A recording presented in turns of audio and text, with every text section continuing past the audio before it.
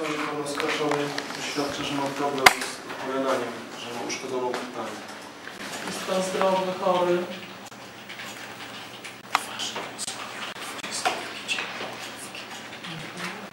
Tak? To jest. Mówi e, pan oskarżony, że podjął głodówkę. Jest w 22 dniu głodówki. Czy poza tym jakieś schorzenia, na jakieś schorzenia pan cierpi?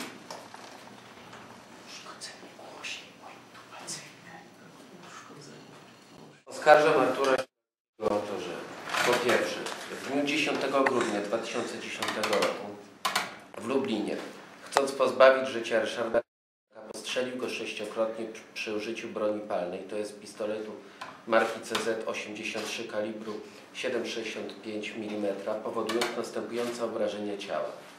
Dwie rany postrzałowe o osobnych kanałach penetrujące skośnie przez jamę czaszkową, mózgowie i twarzoczaszkę z wtórnymi złamaniami kości sklepienia i podstawy czaszki, wylewami krwawymi w tkance podskórnej głowy oraz strefami kontuzyjnymi w obrębie mózgu z wynaczynieniem krwi. Do przestrzeni potwardów